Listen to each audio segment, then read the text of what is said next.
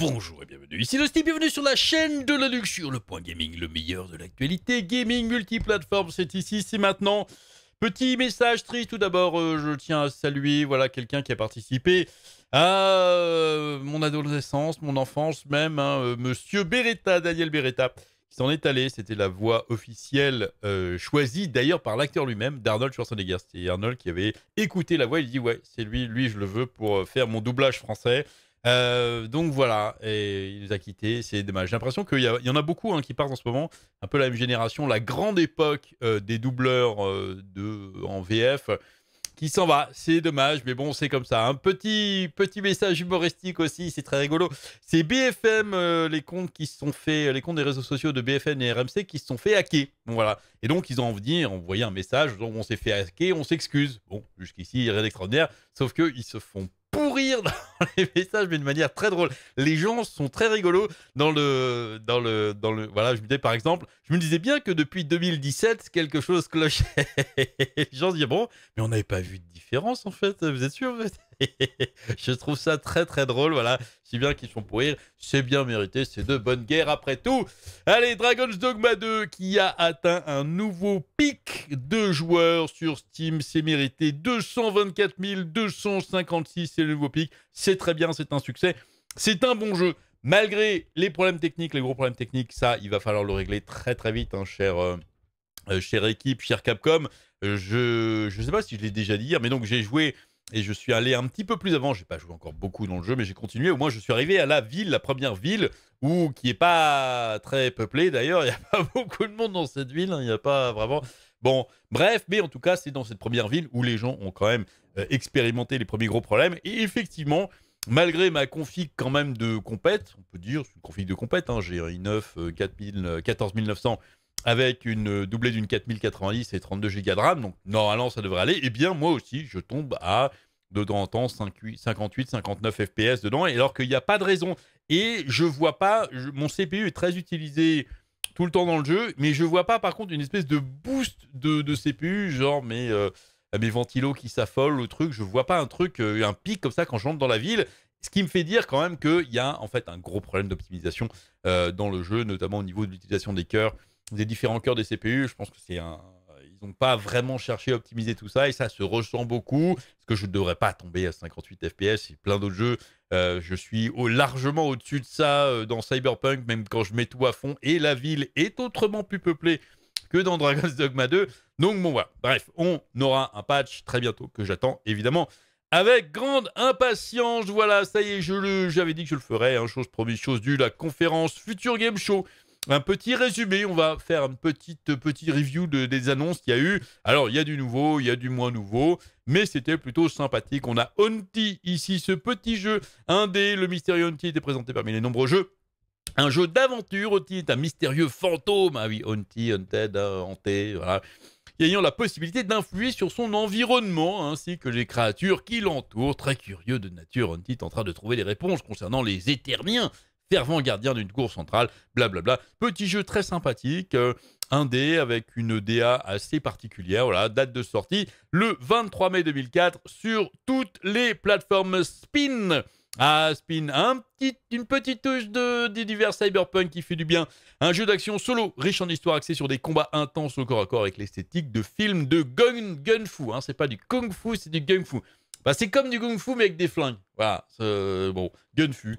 Améliorer vos réflexes grâce à l'augmentation spin et tirer sur les méchants au plus près en masse tout en exécutant toutes sortes de mouvements chorégraphiques. Voilà, ça promet effectivement d'être assez sympathique. Flintlock, The Siege of Dawn ici, euh, présenté en février dernier. D'ailleurs, la première fois Flintlock, The Siege of Dawn est revenu durant la soirée du futur Game Show avec une toute nouvelle bande-annonce développée par A44 Games. Le soft est décrit comme un action RPG dans lequel, décidément, les actions RPG en ce moment, c'est à la cote. Hein dans lequel le joueur retrouvera Norvadek et son compagnon Enki qui affronteront des ennemis dans la région de Wanderer Rest, sortie prévue l'été 2024 ici sur Xbox, PS5, PS4 et PC, voilà, et sortira aussi dans le Game Pass. Il a l'air fort sympathique, très joli. À voir évidemment ce que ça va donner. Hellblade 2, bon alors celui-là, évidemment, on ne le présente absolument plus. Hein. Senua Saga Hellblade 2, voilà, qui sortira donc le 21 mai toujours. On a eu, eh bien, pas de nouvelles images ni de nouvelles informations. C'était du vieux trailer, donc voilà, pas grand-chose de plus dessus.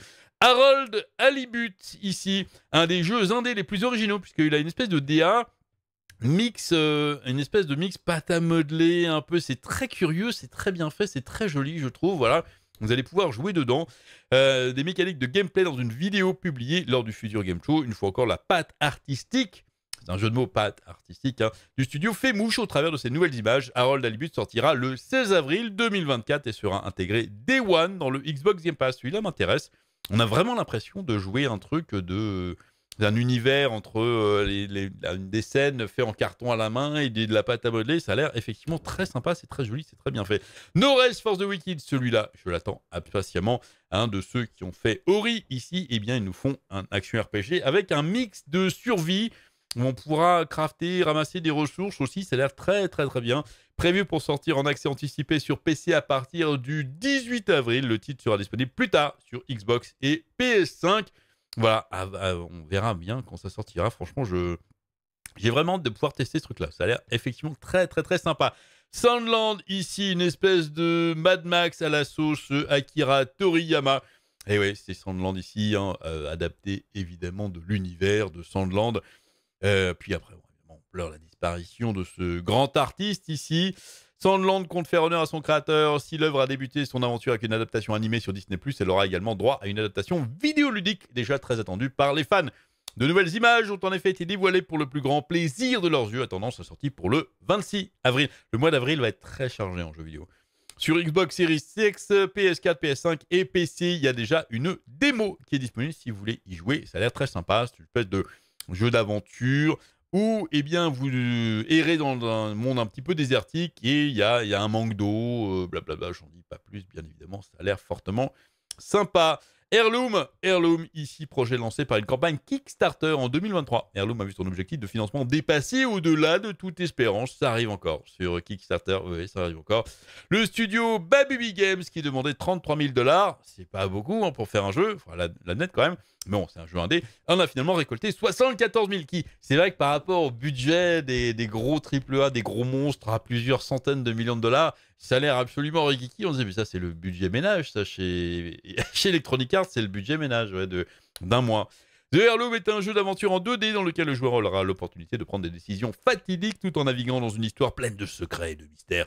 Son gameplay propose des phases de puzzle game avec une histoire entourant Marla et son frère Jacques, deux orphelins âgés de 16 ans. Date de sortie octobre 2024. Still Wake the Deep, celui-là, on l'avait déjà vu. Univers, un, une aventure, pardon, horreur, psychologie sur une plateforme pétrolière abandonnée dans les années 70. Le joueur se trouvera constamment sous pression dans une ambiance pesante, alors qu'il tentera de sortir vivant de cet enfer pétrolier. On l'a dit comme ça, c'est pas très impressionnant. Mais bon, si, si, c'est quand même sympa. Still Wake the Deep arrivera sur console et PC le 18 juin 2024. Il sera également intégré Day One dans le Xbox Game Pass. Voilà, si vous aimez les horreurs psychologiques, hein, si vous aimez être sous pression, allez-y, faites-vous plaisir. Moi, j'aime pas trop. Mais bref. Holstein, un jeu, un autre jeu psychologique d'horreur et de survie déroulant dans une ville polonaise. Ah, ça fout les boules, la Pologne. Hein. Étrange et isolé des années 90.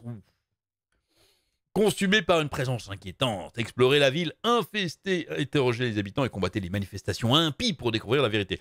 Un petit peu à l'ancienne, les graphismes, euh, ça a l'air fortement sympathique. Euh, date de sortie inconnue, on verra bien dès qu'on a évidemment plus de nouvelles. Je vous en donnerai. Dustborn, le jeu d'aventure-action édité par Quantic Dreams et qui a fait un petit peu parler de lui récemment parce que il est dans un style un petit peu particulier où en gros, va falloir vous battre avec la parole, mais avec euh, la parole, des mots gentils et des... Bon. On en avait déjà vu, hein. Style de rôle 96 qui proposera une aventure rythmée par vos choix et les nombreux dialogues qui vous seront soumis devant vos interactions avec les nombreux personnages. Voilà. Bon. Passons un petit peu. Sky of Tide, Sky of Tide, un jeu narratif de science-fiction ayant pour cadre un univers technologiquement avancé au bord de la guerre, incarné Rin, qui doit partir à la recherche de son père disparu, euh, soigner la planète humaine, explorer le monde et laisser vos choix façonner votre personnage. Un univers en 3D isométrique, très sympa, un petit peu à l'ancienne aussi, sorti en 2024 sur console et PC Battle Juice. Et ce n'est pas Beetlejuice, le film dans le remake, qui va, pas le remake, la suite plutôt, de Beetlejuice qui va sortir en septembre, que j'entends impatiemment. Non, c'est bien Battlejuice Alchemist ici, qui est un RPG d'alchimie complexe qui ajoute un système de compétences basé sur l'équipement à la formule classique de d'action RPG. Encore, hein. explorer la nature sauvage, apprenez des rituels magiques et élaborer des potions afin de combattre les hordes démoniaques. Bon, Dragon's Dogma 2, on passe à ce qu'il est sorti. Star Wars Outlaws, son apparition était appréciable. Mais il n'y a rien de nouveau, en fait. Donc voilà, ils ont montré des images pour dire euh, bah coucou, écoutez les gars, on est toujours là. Et on arrive en 2024, on n'a toujours pas de date précise. Visiblement, je pense que ce sera pour la rentrée, septembre-octobre peut-être. Euh, bon, ça arrivera sur ce Xbox Series X, euh, PS5 et PC. Un bon Ubisoft, là, parce qu'on attend du bon Ubisoft depuis longtemps quand même. Non, si, il y a Avatar. Avatar était sympathique, voilà, c'était pas le jeu du siècle, mais c'était sympathique. Mais celui-là, je l'attends vraiment impatiemment. Simon, Simon the Sorcerer, Simon le Sorcier Origins. Et oui, un jeu qui existe depuis très très très longtemps que j'avais fait aux grandes heures du point and click euh, euh, d'enquête et d'énigmes. C'était génial. Voilà, ça revient un petit peu, je suis content. Simon the Sorcerer Origins est le prequel officiel de la série, célèbre série d'aventures en point and click du même nom. Préparez-vous à retourner dans le monde de la magie et découvrir des nouveaux pans de l'histoire du sorcier le plus sarcastique des jeux vidéo. Les vieux point and click avec de l'humour acide et tout, c'était absolument génial à la grande époque. Je suis très content de voir ce type de jeu qui revient et j'espère que beaucoup de gens vont s'amuser avec ça. Farewell North, nouveau trailer qui est présenté durant la soirée qui nous a permis de découvrir les mécanismes du gameplay et la manière dont les joueurs redonneront des couleurs aux Highlands écossais dans ce jeu de réflexion atmosphérique mettant en scène un border collie et son propriétaire. Voilà, vous avez joué un chien, un border collie, donc voilà. Et il faut redonner des couleurs à la nature. C'est un jeu d'énigmes. Ça a l'air sympathique, un bon jeu. Un dé très poétique. On attend ça aussi avec impatience. Indica. Le jeu à la troisième personne se déroule dans la Russie alternative de la fin du 19e siècle où les visions religieuses se heurtent à la réalité. Ça raconte l'histoire d'une jeune nonne partie à la découverte d'elle-même avec un compagnon insolite, le diable. El Diablo. à date de sortie le 8 mai 2024 sur Xbox Series X, PS5 et PC. Et on termine avec la queue de fer. Et oui, non, ce n'est pas un biopic sur le style, c'est bien un jeu vidéo où vous incarnez un petit rat Doug Cockle qui est notre queue. Eh bien, Gérald de Rive lui-même a présenté en world première Tales of Iron 2, Whiskers of Winter, dans le cadre du futur Game Show 2024. Il s'agit de la Suisse de l'action RPG sorti en 2021, un titre d'action où les rats sont les stars du jeu. Alors, on a eu qu'un tout petit peu de gameplay. C'est vrai qu'on avait un petit peu le gameplay de l'an premier, mais voilà. Gameplay ici, vous allez vous battre avec vos, dans un style un petit peu Darkest Dungeonesque, euh, très cartoon, euh, non, fort sympathique. Ça a l'air plutôt pas mal. Date de sortie inconnue, mais ça sortira sur Xbox One, Xbox Series X, PS4, PS5, Nintendo Switch et PC. Voilà, ça y est, des déclarations eh bien, du boss de l'Ariane qu'on aimerait en voir un petit peu plus comme ça en expliquant pourquoi ils sont restés indépendants, euh, parce que pour lui, eh bien, les éditeurs, c'est le mal. Les éditeurs, tout ce qui les intéresse, c'est le pognon. Et puis il dit, bah regardez, hein, avec tous les licenciements, euh, toutes les fermetures de boîtes récemment, alors que nous, bah, on n'a pas licencié, nous, on va très bien, eh ben, ça me donne entièrement raison. Vous licenciez tout le monde, et l'année prochaine, vous direz, merde, je n'ai plus de développeurs, et vous réembaucherez, et vous ferez des acquisitions, et vous licencierez à nouveau. Voilà. Et en même temps, il a raison. C'est exactement ce qui s'est passé euh, grâce, à cause, hein, je ne sais pas comment on peut dire, de euh, la crise du Covid où il y avait plein de gens qui étaient chez eux, donc ils achetaient des jeux vidéo. Les mecs se sont dit, ouh, il y a plein de pognon à faire, vite, on, on embauche. Et puis maintenant, on se dit, ah ouais, mais là, ça revient à la normale. Ah bon, bah on licencie. Bon. La bêta de Pass of Exile 2 est repoussée en fin d'année. Quel dommage. C'est encore hein, le Diablo 4 Killer ici. C'est encore une mauvaise nouvelle qui nous parvient au, jeu au sujet de Pass of Exile 2. Annoncé pour le 7 juin prochain, la bêta du jeu aura finalement besoin d'un délai supplémentaire. Ainsi, les développeurs prévoient désormais un lancement seulement en fin d'année. Des tests via une version alpha auront malgré tout lieu en juin 2024. Notons au passage que l'extension Necropolis débarquera dans Pass of Exile, hein, premier du nom, hein. ce 29 mars. Voilà, un nouveau émulateur qui, qui va mal. Euh, merci Nintendo. Alors là, il n'a pas fallu beaucoup. Alors, Yuzu, vous vous souvenez hein, de l'émulateur Switch qui s'était fait ban? Là, c'était menace, avocat, euh, plainte. Euh, ils avaient envoyé un dossier, bref. Et les mecs s'est dit, bon, bah, devant le juge, ils ont fait un accord à l'amiable, euh, tant pis, et puis ils ont disparu, voilà. Là, c'est Suyu, ici. Euh, j'en avais un petit peu parlé, le descendant, on va dire, hein, le fork, un des forks, et eh bien, de Yuzu, qui avait essayé d'ailleurs de faire des choses de manière légale en disant, bah, nous, euh, on ne mettra pas de de, mode d'emploi de tuto pour aller chercher les codes de la Switch directement. On ne fera que de l'émulation légale, parce que je rappelle que l'émulation ou un émulateur, c'est entièrement légal. Euh, eh bien là, il n'a pas fallu beaucoup. Ils étaient hébergés sur GitLab, hein, pour ceux qui connaissent. Eh bien, Nintendo a fait juste, a juste, je sais pas, fait bout à GitLab en disant bon GitLab, vous hébergez un truc là. On a fait euh, virer, on a fait arrêter, on a porté plainte contre son prédécesseur. Bon, bah si vous voulez pas de problème, euh, arrêtez-le. Et ils ont cédé directement. Il n'y a pas eu d'avocat, il n'y a pas eu de plainte, il n'y a même rien eu du tout. Ils n'ont même pas étayé leurs propos. Pourquoi ils voulaient les faire virer? Ils ont dit voilà, virez-les et ils ont été virés de GitLab. C'est un petit peu bizarre quand même. Euh, je sais pas, il n'en a pas fallu beaucoup quand même. Bon, GitLab qui défend pas trop les créateurs qui sont dessus, c'est un petit peu dommage. Bon, ils auront ailleurs. Hein. C'est pas, ils n'ont pas fait fermer le truc. Ils ont juste demandé à leur hébergeur de les virer. Bon, c'est juste, ils essayent de mettre un petit coup de pression, un petit peu de faire peur comme ça. Euh, toujours des, matières, des manières de faire assez bizarres chez Nintendo. Bref, le kit de développement de la Switch 2 aurait été mis à jour et permettrait aux développeurs d'aller plus loin. Ah, c'est bien d'aller plus loin. Même si les projecteurs sont majoritairement tournés vers la PS5 Pro, non, la Switch 2 aussi. Il en reste toujours quelques-uns pour une autre console très attendue avant même d'avoir été annoncée officiellement. Il s'agit bien évidemment de la Switch 2. Il y aura quoi comme nom On ne sait pas. Est-ce que ça s'appellera vraiment la Switch 2 Je ne pense pas. Cette semaine, c'est l'insider Nash Weedle qui prend la parole sur X pour déclarer que selon ses sources, le kit de développement de la future machine de Nintendo aurait reçu une mise à jour permettant aux développeurs d'aller plus loin dans leur travail sur la console. La déclaration étant un peu vague, il va expliquer par la même occasion que d'après lui, cela ferait référence au DLSS de Nvidia que la Switch 2 est censée prendre en charge après de nombreuses rumeurs. Bien évidemment, rien de tout cela est officiel, il faut prendre cette prise de parole avec des énormes pincettes ici.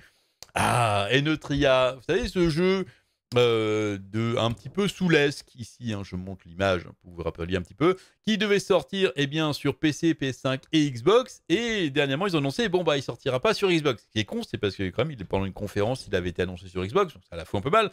Eh bien, le patron a expliqué pourquoi. Il a dit, bon, euh, on a, en fait, on peut pas. On n'a pas les ressources pour le déployer euh, sur trois plateformes en même temps de manière optimale. Donc, on va en choisir deux. Et du coup, bah, bon, bah, PC, PC. Euh, et puis pour les consoles, bah, on a choisi la PS5 parce que bah, nous, le jeu, on est une compagnie asiatique et que bah, PlayStation est beaucoup plus implémenté, implanté surtout euh, en Asie que Xbox. Donc on a un marché potentiel eh bien plus important. Hein. c'est pas, il l'a pas dit comme ça, mais bon, c'est sous-entendu. Bon, alors c'est dommage. Euh, c'est un c'est con pour les joueurs Xbox. Moi, je suis assez déçu. Mais quelque part, c'est vrai que si vous voulez sortir principalement si votre objectif c'est de vendre plus de jeux en Asie, bah la PS5, euh, ça semble effectivement être le meilleur choix. On va pas se le cacher au niveau des chiffres. Euh, les chiffres parlent. Hein, les chiffres ne mentent jamais. Farm a reçu sa mise à jour pour l'arrivée du printemps. Très bonne nouvelle, le RPG de simulation de ferme développé par Phoenix Labs vient tout juste de recevoir un patch sur PC et Switch. Il apporte du contenu inédit gratuit pour tous les joueurs. Gratuit. Hein, c'est très important de le rappeler quand le contenu est gratuit. Ainsi, Farm propose désormais des changements au niveau de la vitesse temporelle et nouvelles fonctionnalités pour les romances. Ça, c'est bien ça. attention, il n'y a pas de cul hein, là-dedans. Attends, c'est jeu mignon, jeu familial, jeu pour enfants. Donc vous attendez pas à des trucs bizarres. Ou encore des objets inédits pour personnaliser votre avatar. Ah, qu'est-ce que les joueurs en veulent de plus? Je ne sais pas. Je ne sais pas. C'est très bien. Ah, on a des nouvelles aussi, tiens. Euh, je, vous avais dit la dernière fois, euh, dans ma vidéo sur Overwatch 2, donc, euh, où le PVE va définitivement disparaître, que les développeurs n'avaient pas touché de bonus. Eh bien, en fait, c'est surtout dû à un changement de politique chez Blizzard. Alors, avant, euh, il y a un peu plus d'un an, la politique chez Blizzard, c'est quand l'entreprise faisait des gros bénéfices, l'entreprise totale, globale Blizzard, eh bien, les employés, tous les employés recevaient un bonus. chose normale, participer au bienfait de l'entreprise. Euh, donc voilà, vous recevez un intérêt, c'est très bien. Sauf que l'année dernière, ils ont changé ça et ils l'ont mis par équipe, en gros par jeu, si vous voulez. C'est-à-dire que c'est est-ce que l'équipe de Diablo 4, par exemple, a fait des profits, euh, euh, des, bénéfices, si vous voulez, et donc du coup, là, l'équipe de Diablo 4 toucherait un bonus, mais les autres, non. C'est pervers, c'est extrêmement pervers parce que chaque jeu, évidemment, chaque euh, jeu, en fait, chaque équipe, dépend, mais vraiment beaucoup, des décisions qui ne sont pas prises par les employés. Euh, alors que je pensais que quand même donner des bonus globalement sur la réussite totale de l'entreprise, c'était quand même beaucoup plus remercier les employés d'avoir fait du bon travail globalement.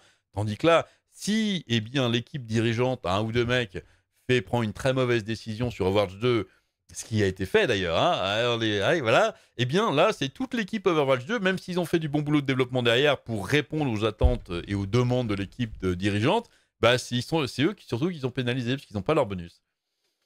C'est une manière assez particulière de faire. Je je sais pas. Je J'espère que Microsoft reviendra un petit peu là-dessus parce que bon, je trouve ça un petit peu mesquin.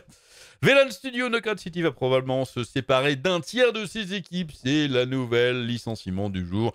Un autre studio est sur le point d'être impacté par des licenciements. VLAN est connu pour des jeux tels que Mario Kart Live, Home Circuit, Knockout City et Hot Wheels Rift Rally. Une restructuration est en cours au sein de la firme américaine, ce qui provoquera le départ de plusieurs personnes. Selon un communiqué de l'entreprise, 46 des 121 employés pourraient perdre leur travail dans les deux mois qui viennent. VLAN évoque un projet important qui a été subitement annulé par un partenaire externe pour euh, expliquer cette situation. Et oui, c'est, je l'avais dit, hein, euh, quand vous avez les grosses boîtes qui licencient et qui vont mal, eh bien, ils décommandent aussi les entreprises tiers avec lesquelles ils travaillent. Ça fait eh bien, de l'argent qui ne rentre pas, des contrats qui sont annulés. Et forcément, ces entreprises tiers eh bien, doivent aussi euh, se séparer d'employés parce qu'ils n'ont pas, ils pas de quoi les payer. C'est dommage. Est-ce que le jeu vidéo rend violent? Je ne sais pas. non, ça ne rend pas violent du tout.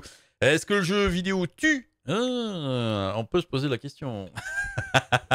Puisqu'ici, on apprend eh bien, qu'un patron de jeu mobile euh, vient d'être condamné eh bien, à, non, à la mort, condamné à mort en Chine, en Chine euh, pour avoir empoisonné eh bien, son éditeur, c'était le milliardaire du euh, celui qui a fondé Yuzu Games ici, voilà. Donc le mec, en fait, le mec, ils n'étaient pas contents. Il n'était pas content dans la façon dont sa boîte était gérée par l'éditeur. Ils ont eu des gros différends et du coup, il a décidé de l'empoisonner. Est-ce que le jeu vidéo tue eh Bien, je ne sais pas. Sandlands offre une énième annonce un mois avant sa sortie. C'est un nouvel action RPG tiré de l'univers imaginé par Akira Toriyama qui débarquera le 26 avril prochain sur console et PC. En attendant, eh bien, euh, sa venue de Sandland, Bandai Namco a décidé de dévoiler une nouvelle vidéo qui s'attarde sur certains personnages utiles. J'en ai montré un petit peu d'ailleurs dans ma, euh, petite partie sur le futur game show ici. Euh, allez voir hein, sur la chaîne YouTube de Sandland si c'est un jeu qui vous intéresse. Moi, c'est un jeu qui m'intéresse grandement. Il y a tous les trailers et donc là, le nouveau trailer, vous allez voir ici. Là, ils pond. On a vu beaucoup de désert dans les premiers trailers. Maintenant, il s'attarde un petit peu euh, sur la partie sur la forêt. C'est très intéressant. Worshippers of Cthulhu, un tout nouveau city builder a été annoncé sur console et PC. Je l'attendais pas celui-là. Et alors ça, c'est un jeu qui m'intéresse aussi parce que je suis extrêmement fan de l'univers de Lovecraft. Euh, vraiment très, très, très, très fan. D'ailleurs, euh, le seul tatouage que j'ai d'ailleurs, c'est un Cthulhu un petit peu designé dans le dos. que j'ai là, un dans le dos. Dans Warshippers of Cthulhu, le joueur devra diriger le culte de Cthulhu en gérant une ville et ses habitants. Il va falloir les faire travailler dur, accomplir des rituels, proclamer des dogmes et s'occuper de toutes les affaires de notre bourgade pour le moins lugubre. Le royaume de Lovecraft nous ouvrira ses portes en accès anticipé sur PC via Steam au cours du deuxième ou du troisième trimestre 2024.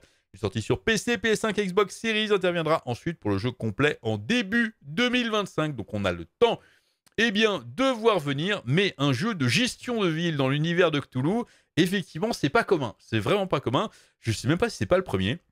Et ça a l'air plutôt sympa avec euh, des designs très euh, sombres ici, très euh, sympa. non, ça a l'air vraiment bien, ça a vraiment classe. J'ai vraiment hâte de pouvoir tester ça ici. termine avec un petit peu de new tech. YouTube qui a mis en place un système pour taguer dans les vidéos si la vidéo contient du deepfake, voilà, du contenu réalisé par intelligence artificielle, donc fake. C'est vrai que ça fait 2-3 jours, là, d'ailleurs, que j'ai vu dans mes vidéos, il y a la question, alors, il y a toujours des questions quand vous publiez une vidéo, est-ce que cette vidéo est fait, euh, cible les enfants, par exemple, si vous faites des vidéos pour enfants? Bon, bah, moi, c'est non, hein, c'est clair, je mets non à chaque fois. Euh, est-ce que votre vidéo contient des promos, de la promo pour des produits Est-ce que vous faites du marketing, faites de la pub hein euh, et, donc là, il y a une troisième question qui est apparue. Est-ce que, effectivement, votre vidéo contient du contenu créé par intelligence artificielle ou deepfake et autres? Voilà. Donc c'est apparu ça. Donc ils ont mis ça pour les taguer. Je trouve ça très bien. De la transparence. Après, chacun évidemment fait ce qu'il veut, mais au moins de la transparence, qu'on sache ce qu'il y a dans les vidéos. Je trouve ça très très bien. Microsoft nous a promis du nouveau ray tracing fait à partir du SSD. Et oui, euh, les PC aussi ont des SSD magiques, donc ils vont utiliser euh, un petit peu de la puissance de la mémoire du SSD pour pouvoir accélérer le tracing, accélérer le calcul du tracing. On attend évidemment ce que ça va donner. Et il y a un joueur de Steam Deck qui habite en Antarctique. Alors, qui habite Non. Quand j'ai vu cette news, euh, qu'il y avait, parce qu'évidemment, c'est les IP, hein, le Steam Deck, ils ont l'IP des joueurs. Et donc, il y a un IP qui correspondra à l'Antarctique, en plein milieu dessus. Et moi, j'ai vu ça, je me suis dit, ouh, ça, c'est un doctorant, c'est un chercheur qui est sur une base en Antarctique et qui a ramené sa Steam Deck parce que bon, euh, bah, il y a plein de moments où on, a pas, on est coincé, on, doit s'occuper, pas forcément grand chose à faire. Euh, quand il y a beaucoup de neige dehors, et voilà. Donc là, je me suis dit, c'est effectivement, c'est la théorie la plus prisée aussi euh, sur, sur les réseaux sociaux. Mais c'est très rigolo de voir qu'il y a un mec, effectivement, en Antarctique. Il y a d'ailleurs, on voit un point ici au Groenland aussi. Il y a des gens qui jouent absolument partout, hein, ici au Steam Deck. c'est incroyable. Alors, l'autre, truc, c'est peut-être qu'il il spoof ton IP. Hein. Je sais pas s'il y a des serveurs euh, Captain VPN en, en, Antarctique, je ne pense pas, mais il met peut-être un faux IP dessus pour faire croire qu'il est en Antarctique. Je ne pense pas. Je pense que c'est vraiment. Euh, les gens jouent partout, de toute façon, donc du coup, aussi à leur travail, hein, quand ils ont des longs moments où ils peuvent travailler, ils ont des pauses et tout, ça leur fait plaisir. On ne s'ennuie pas. Allez, c'est tout ce que j'ai là-dessus pour aujourd'hui. J'espère que ça vous aura plu. Dites-moi ce que vous en pensez dans les commentaires. Amusez-vous bien. Et à très bientôt.